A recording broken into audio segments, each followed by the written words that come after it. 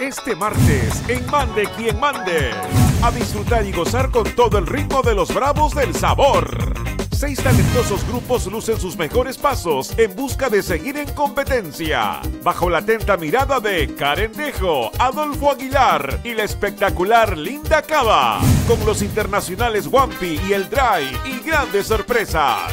Mande quien mande, este martes a la 1 y 40 de la tarde por América.